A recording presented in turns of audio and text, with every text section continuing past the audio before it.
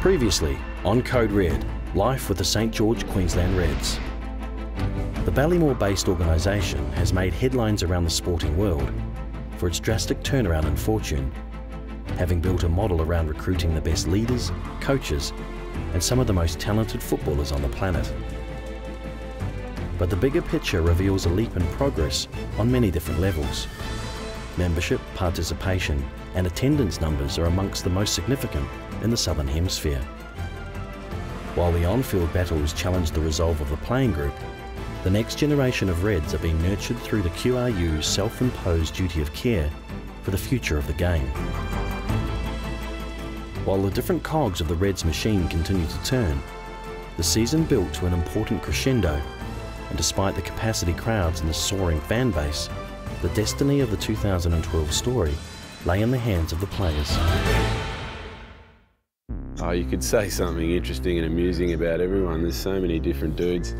It's guys like Liam Gill and Jake Schatz who are constantly just cruising around, joking around, acting like nothing matters, but they seem to be able to turn up on the training field and be absolute world-class footballers. While Well's probably one of the funniest guys I've ever met, but just subtly.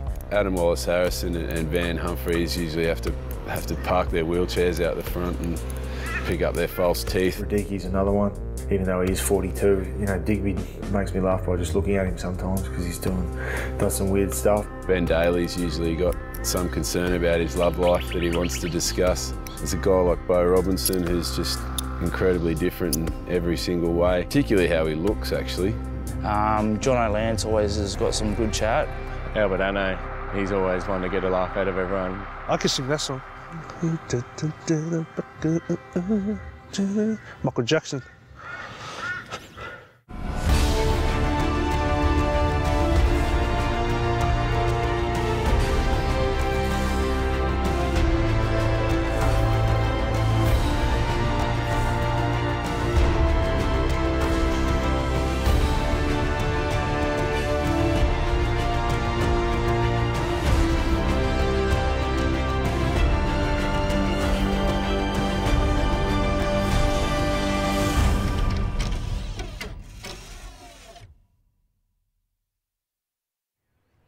Quade Cooper is an iconic name in Australian sport. He is forever interesting to those that love him and those that don't, but neither group would be surprised to hear that he is most at ease with football in hand. Rugby to me is a, a way of like expressing yourself and you can basically distance yourself from, from everything else going on and just have fun. And I've, I've been at the Reds you know, since I was about 15. Um, I love you know, everything about this place. You know, I love you know, the state. Love living in Brisbane and also the team. It's a, a team that I've you know, grown to love. You know, when I moved over here from New Zealand, um, you know, that's all I knew. So this house just up here on the left was our house that we stayed at for ages. So many memories here, mate. Yeah, being a you know, footy player, you're always travelling, there's always training and stuff like that. So, you know, any chance I get to pick up my brothers from school, you know, think little things like that that you know, might not mean much to other people, but you know, for me, those are moments that you, know, you just can't take for granted. He's got a dummy, dummies 1,100 times in a row. He's just got to learn to pass the ball. see you there. See you later, sir. How's school, bro? What'd you learn? Just hang out with them for a bit, um, talk a little bit of crap in, in the car and drive around and, and hear stories about them. You know, kids grow up so quickly, and, you know, and I look back at my years, and so, sometimes you wish that you could have those you know, those times back and, have, and not a care in the world. I'm three years older than him, and she's just like, oh, I'm like three times smarter than you, though. My little brothers and sisters are, are really good kids, and I try as best as I can to make sure that they have you know, the, every little thing that they need um, whether it just be a little bit of spending money on the holidays, good footy boots and stuff like that. Um, you know, they do a lot for me, and as much as they can, whether it be just them spending time with me, coming over, hanging out, doing the dishes for me, as, as little brothers and sisters should. But I've made you know, my fair share of mistakes, and um, you know, the only way you, you, know, you, get past them is by learning from them.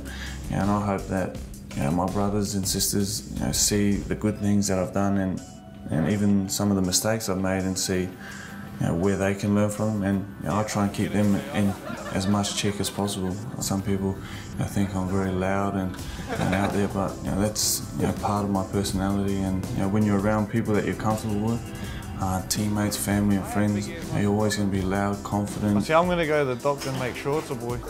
They picked the egg. But there's also a shy side. Um, you know, like I'm quite a reserved person around people that I'm, I'm not too familiar with, and you know, the people that really matter to you, your family and friends, you got to make sure that you keep the right people around you. And, you have to go around to mum's house for, for a dinner, and uh, you, you find out pretty surely that uh, everybody, everybody loves you, but everybody loves to keep everybody in check. And having two little cheeky little um, brothers, two younger sisters, and one older sister, there's always a little bit of drama going on. If you ever feel like you're, you're getting too far ahead of yourself, then you know, someone's going to bring you back back down to earth.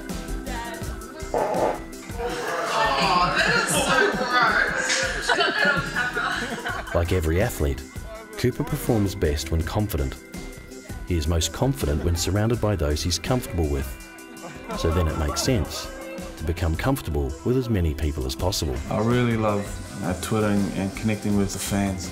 You, know, you can chat to people when, when you're bored and there's, there's not much doing. You can have a ca casual chat and you can, you can throw your thoughts out to a discussion board basically. And I get messages from people all over the world just, you know, just saying hello, good night, good morning, you know, and, and interested about you know, different topics in life. You get everybody's opinions that you're going to hear out in the field, you're going to hear in the media and stuff, but it thickens your skin because it's at the access of a button. You, you go there and you, you see all the people hating on you, you see all the people supporting you. But you know, the majority of the people are supporting you. So when you go into a game and you got people sending in messages of support, it's like bringing the, the stadium home. And that's a, a hobby of mine that, that I really enjoy. Uh, for me, the game is just an amazing um, part of my life at the moment. It's just something that's so special. I got here in 2009, uh, coming second last, a really young group of guys. You know, we had no culture, we had no support groups. Where now, you know, we're, we're like a big family. You know, I've got 30 brothers and 30 best friends now. It's something that we've built up, um, the culture, the ethic, the, the work rate that everyone puts in. We go out there every weekend to play for each other. And I think that's the main reason why I love being here. We probably throw maybe two to 400 balls a week. You've got 40,000, 50,000 people yelling at you. You don't want to miss because you look like an idiot. From Queanbeyan, New South Wales, the Faingaa twins grew up playing rugby league and it wasn't until high school that they started playing union. We were playing rugby league and rugby union on Saturday and Sunday and, and it sort of got to year 11 and 12 where we sort of had to make a decision and rugby was our choice. I was captain at school. He was captain at school, he was vice captain at schoolboys and that was really it. I think Saia was vice captain so just to let everyone know that. That was his whole leadership. I'm five minutes older. I captain us when we won the 19s. I think he still thinks he's a captain, but he's really a vice captain. And I'm the captain. yeah, growing up together, we're all competitive, all of our brothers. Um, my younger brother, Colby, uh, plays for, for, the ACT Brumbies. And uh, Billy plays for uni here in Brisbane and also just made his international cap for Tonga. So our heritage is, is Tongan. Um, our father's Tongan and our mother's Aboriginal um, and uh, Australian. Philly and the twins work with Mission Australia throughout the year, inspiring young Indigenous Queenslanders in any way they can. Being obviously Indigenous helps us to relate to, the, to kids and um, we, we enjoy challenges. We also enjoy helping people. Changing that trend and, and, and getting them some jobs that, uh, that help them build and, and create uh, a good opportunity for them in life. And, and that's, a, that's something that really holds. The twins are forever busy doing something proactive in their spare time. And more often than not, it's done together. How's everything going? We've never had a, a full fist fight or anything like that, but because we're best mates, even if we have a little tiff, kind of have to get over it. Saia he thinks he's a Kardashian. He wants the film crew to follow him around. He, that's how important he thinks he is. You're just pointing in directions you don't even know. I do. Oh no, Saia! My route's quicker. Oh, Saia. So we're going straight here? Let's keep going straight. trust me, trust me. All right, I'll trust Yeah, so outside of rugby, Saia and I try to keep busy, and it's more so just to get our minds off off the actual rugby side of things. And what we do with breast cancer is very close to our heart. Our, our grandmother was diagnosed with breast cancer twice, and um, yeah, she lost both of her breasts and. This has been a big part of, of why we've taken on that, that breast cancer baton and she asked us if we could help out and we said yeah why not and two years later we end up being ambassadors for breast cancer. So what we're sort of hoping to do is just want a, run a golf day here. Um, it's a charity event, it's not for us to raise money or anything like that. If we can raise awareness firstly and then put some money back into national breast cancer then we're happy. We've done our job. This is sort of something that we're looking at maybe doing um, just a just a plain polo. So it'll be Hope Island on one side, and then Faingaa Twins just there. It's going to be a fantastic day, and and yeah, it's something that we really can't wait to uh, to start setting up and start getting ready for. And it's just a small part of what we do um, outside of rugby. Rugby is the catalyst for all the good work that the Twins do, but it very nearly wasn't to be. In uh, 2007, Anthony got diagnosed with compartment syndrome my leg swelled up and uh, within half an hour I was, I was in the, um, the surgical room getting cut open and, and, them telling me I probably won't play rugby again. You know, for me, um, Anthony's a benchmark of, you know, players that face adversity every day. He's been injured so many times and people have ruled him out and people have said that he would never play for Australia. That was one of the biggest eye-openers for myself. And that's why both Saia and I try to do as much as we can outside of football and, and really help out the people that we can. And you know, everything that we've done now is from hard work, and I think you never do anything without hard work, and you never earn anything without hard work. I, I love this game of rugby, and I'll never take it for granted. I'm like a kid. I just like playing with toys, shiny toys that look look cool, and all your camera gear looks pretty expensive. So I like to play with it. If you need a a new cameraman, just give us a shout. Life Post Footy. James Horwill is known amongst teammates and friends as Big Kev because of his excitement and enthusiasm for everything he does, and for obvious reasons. Rugby probably became my sport due more to to do with my body shape more than anything. It's one of the few games I think going around that you know is truly about the group performing as well as possible. The team that succeeds is the team that you know works together and understands what they're trying to do. And you've got to sometimes make sacrifices for the benefit of the team. And I think that's a, that's a crucial element of, of being a teammate. I mean, Queensland's, you know, where I was born and bred, and I think playing for the Reds is a huge honour. It's something that I certainly don't take lightly, and I think the group of guys we've got here, you know, they uh, they do everything for each other, and you know, I feel that you guys are, are very open with what uh, they do and, and what they can say to me, and I feel that I'm pretty approachable in that sense. As Wallabies and Reds captain, Horwill's role requires as much understanding about the game of rugby today off the park as it does on.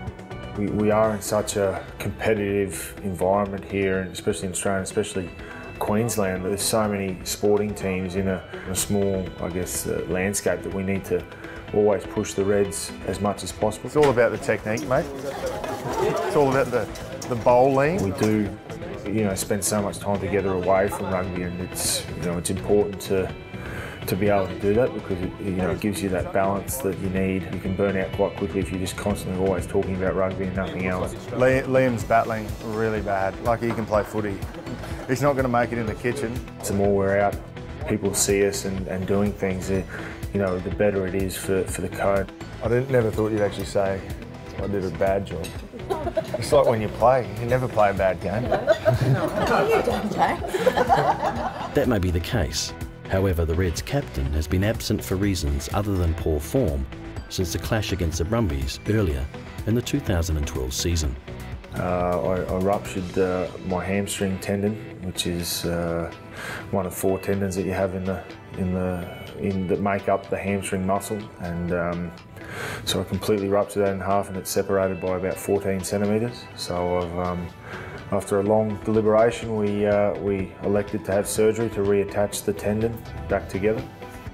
At 6 foot 6 and 117 kilograms, James Horwill is larger than the majority of patients and requires a few more hands on deck than normal.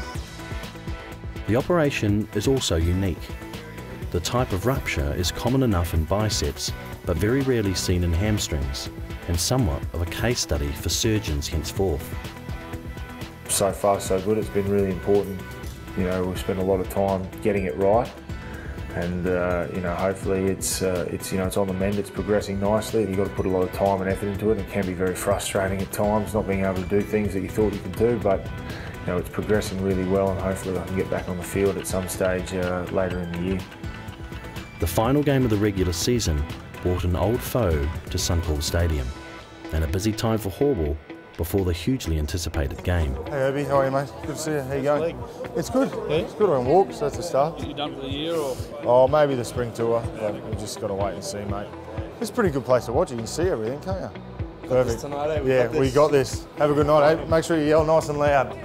How are you? Good. How are you guys? We've had a good result happen uh, a couple of hours ago when the Brumbies lost. I don't think I've cheered so hard for a Kiwi team in my life. So technically, if we win with a bonus point tonight, then we top the Australian Conference, which will mean we'll host the quarter final here next weekend. So there's a lot riding on this, and the boys boys are pretty excited. The Super Rugby draw had one last domestic fixture, and it brought the oldest of rivals in the best football stadium on earth together, with a unique permutation. The Reds needed a four-try win to make the finals. The old enemy needed to stop them. Every face carries a different expression hope, anxiety, expectation, and confidence that the job will be done.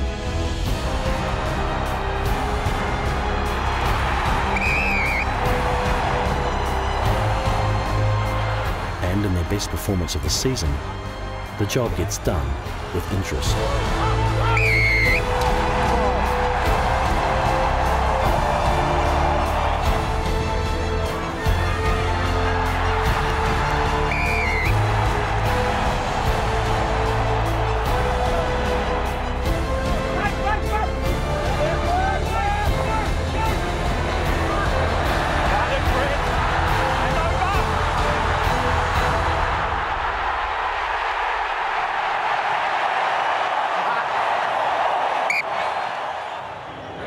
Big man? Well, mate. One JB. Where's Wall? The Reds finished top of the Australian Conference and would play a home qualifying final in seven days. Discussions around the 2013 season are already in motion, and one major development is leading the way. The spiritual home of rugby in Queensland is about to undergo a transformation. Players want to be the best they can be. They want to know that they've got the best facilities that allows them to achieve uh, their goals. Uh, we're very fortunate. We have a picturesque uh, home that is emotionally connected deeply to the game rather than a, uh, just a training facility. And uh, separate to that, uh, we understand that what we ultimately need to deliver for this uh, this team and for future teams is the very very best facility we can we can afford them. Ballymore has a future as the, the home of Queensland rugby, as the home of Reds, uh, but it also may have another life in, uh, in terms of as a community asset. And we've been talking to all levels of government for, for a little while now about what this might, what this asset here might become. And we're not looking to commercialise Ballymore, but we are looking for something that um, can provide an elite training facility for the Reds, that can provide a home for the community of rugby, um, but also something that ties in with the local community area. The, the redevelopment, the major piece of the redevelopment is a significant project, but every day um, there's investment going into the footprint of Ballymore. The facility will be the largest of its kind in the country, and an addition to the QRU empire.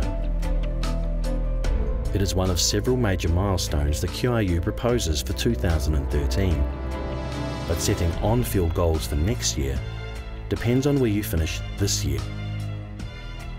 The Sharks adopted an important ploy when playing at Suncorp. Remove the 35,000 fans by scoring early. It's over the top to JP Pietersen for the corner. He cuts back infield. What a try! Whitehead. Jordan calling JP Pietersen and he puts on some footwork and then he offloads Oh. and over on the far side they're in the clear again. What a try! Unbelievable. The Reds rely on Will Genia in the 37th minute to bring the crowd back into the game. Giving it out to Higginbotham. He's going to have enough pace and he throws it back on the inside anyway, and it is a try. Oops. Oh, intercept. Oh, yeah. And McLeod, he's going to run away. And is that enough to get them into the semi finals next week? But it was too little too late. And in the blink of an eye, the season was over. In three months, the Reds climbed from ninth to third, the biggest jump in rankings all year. But it does nothing to mask the disappointment.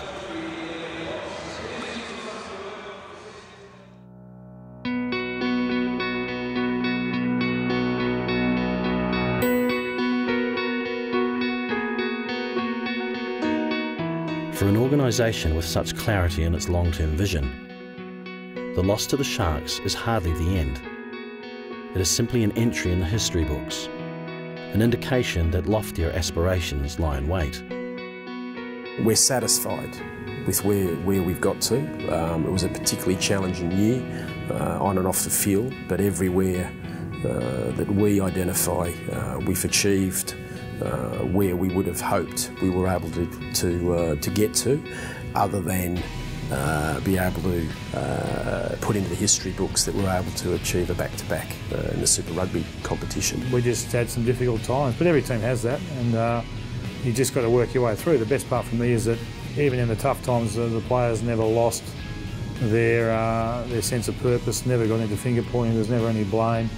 The players have backed the program, the culture, and the environment by by voting with their feet. They're, they're basically all staying. So. Um, that's, a, that's as good an indication that uh, we're on the right track. The St George Queensland Reds head into a new season with lessons learnt and knowledge banked. But facts and figures, wins and losses aside, the Reds have proved that they are the entertainment factor, which, despite the business pedigree, gives people the chance to sit on the edge of their seats for the last minute try watch the international stars of rugby union shine in their own backyard, and gaze in wonder at a superstar in the making.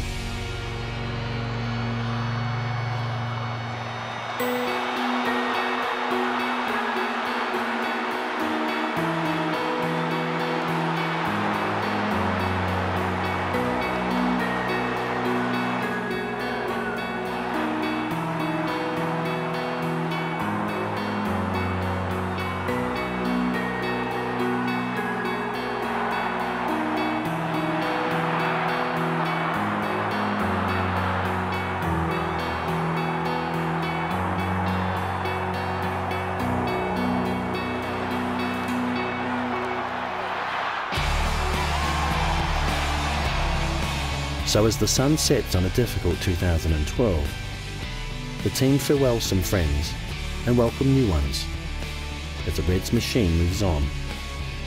And there isn't time to dwell or reflect on what could have been. After all, the next season is just around the corner.